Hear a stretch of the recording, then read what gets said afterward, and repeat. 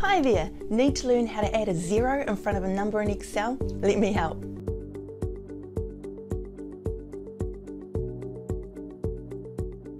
Hey, I'm Sharyn from Excel at Work, where we offer straightforward, non technical assistance to help you save time, work smarter, and improve your Microsoft Office skills. So, let's look at how you can keep leading zeros in Excel. I'm going to cover several quick and easy ways to take control of your zeros. If you're using my steps to becoming proficient in Excel workbook to improve your Excel skills, I've popped the topic number this video relates to in the description box below. Now, if you haven't yet got a copy of the workbook, I'll explain where you can grab your copy at the end of this video. Right, let me show how you can add a zero in front of your numbers. Hello, right, let's talk about how frustrating it can be when you're trying to type a zero in front of a value or a number in Excel and it just disappears. I'm going to give you some tips and some hints on how you can actually control this.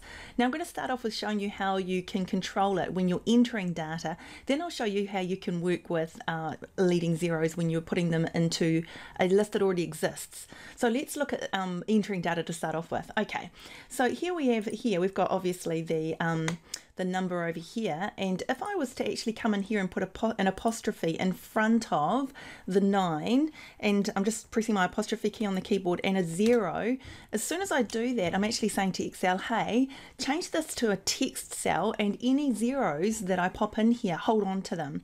So if I come down to the next one I'll just show you that again. I can actually just go in here and put a 0 in and of course it'll do it for me. And of course if I just was just doing that I'll just come down here and press the uh, delete.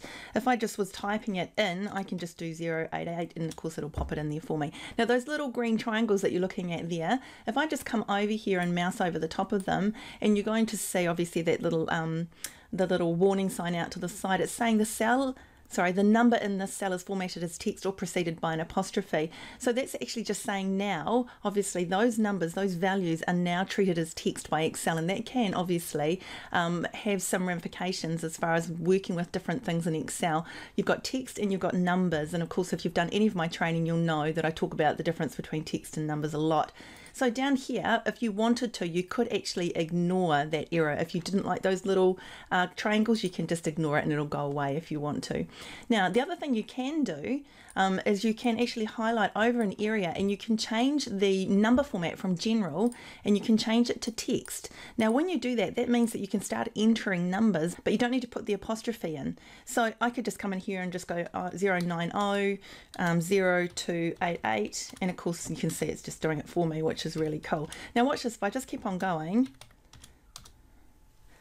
if you've got the latest version of Excel, what will happen is Flashfill will go, hang on a minute, I'm watching a trend here. Is this what you want me to do? And of course, what it'll do is it'll drop down a list. All you have to do now is press enter and look at that. It will do it for you. Okay, so if you're entering, you can use an apostrophe or you can change your number format up here to text if you want to.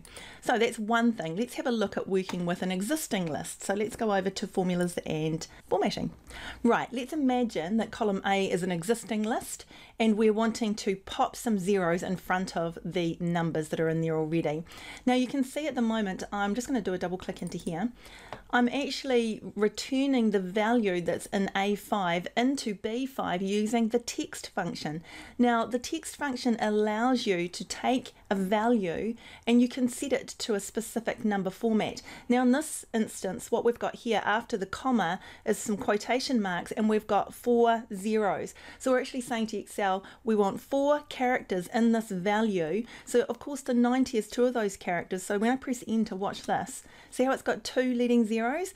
Now if I come down to the next one, you can see that obviously this has got three characters at the end, but keeping it within that four character format, it's only added one zero in front of it. So that is the text format that allows you to put the number of preceding zeros that you want, but it keeps it within that character limit. You're probably thinking, but what if I actually wanted to have four zeros on everything, adding it down the list? So let's look at something else. Just going to come over to this one over here. Right, with the concat function, what we have here is the ability to actually merge together different information.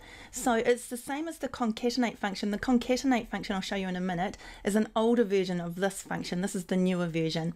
The older version, the concatenate function, is still available in um, Office 365 and the newer versions of Excel because, of course, there's a lot of legacy or older spreadsheets still using the concatenate function.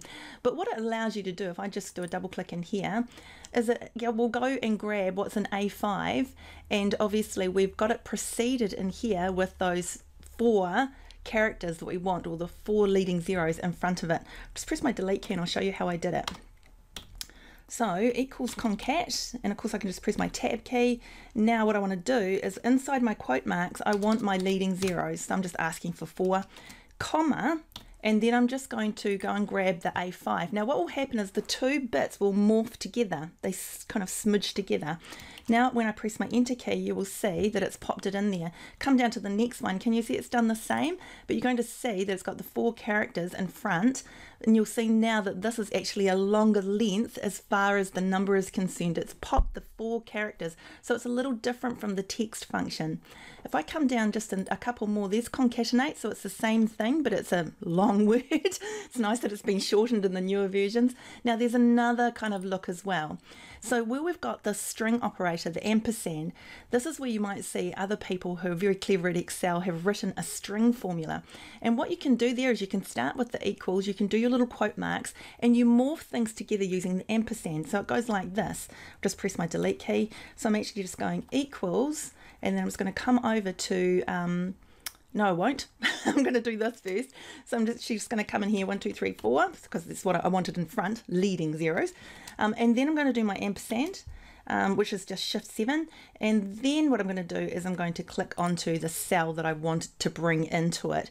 Pressing enter and look at that, that'll give you the information. So if you're reading anything like that in an Excel spreadsheet, that's just somebody very clever that's written a string formula and pulled it together using the AND operator. Okay, so we've looked at those different uh, string functions that can bring your text together and the two different ways that you can either have that preset number in front of it, or you can have a set number of characters. So either one, whichever one's going to work for you. Right. Now there is another way that you can do this using number formatting. So I want to talk about this. Here's our original number over here. And over here, we have something called a custom number format, and it's got the four zeros in front of it. But look at this up here doesn't have the four zeros. So what I've done is I've created a custom number format. So I'm just going to highlight over a few of these and I'm going to come up here and I'm going to go all the way down to the bottom down here. Actually, I didn't, don't know why I scrolled down. I don't need to do that. Go to more number formats down here. And I'm going to go all the way down to custom down here. Okay, so in here, inside of custom, what I've done is I've preset the number of characters that I want. So this is kind of like what we did for the text function over here. So I'm actually saying to Excel is I want six characters. And of course, what's going to happen again is it'll count the number of existing characters and then precede it by the extra at the front of it. And so all I did to do this is I just came in here and went one, two, three, four, five, six, just like that. And can you see what has happened up here? So I'll just show you that again as I'm kind of removing them. Can you see what's happen happening? So if I pop them back in again, so that's what I'm looking for. Clicking on OK. Now that actually is a number. Can you see that? And that is text over here. One's on the left hand side of this the um, column, one's on the right hand side of the column. So you can actually see that the two are quite different. So using your number formatting, it's got special up here now because I did a special number format. Um, using your number formatting, you can actually leave the number as a number, but you change the look of it using formatting. So I really hope this instruction has been helpful and you are now able to control how Excel treats leading zeros in your worksheet. Now, if you're really serious about improving your Excel skills and you'd love an idea of just what you need to know to become a more than proficient user of Excel, click the link on the screen or the link below in the description to grab your copy of our Steps to Becoming Proficient in Excel guide. A brilliant tool to use to assess your current skill level, identify gaps in your knowledge, and learn where to find the info you'll need to fill any gaps you have identified.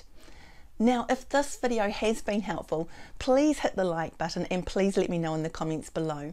And if you use Excel and want to stay connected, please consider following, subscribing, because I'm sharing new videos regularly. And if you know someone who would benefit from this help, please be sure to share this video with them. Hey, thanks for watching and have a fabulous day.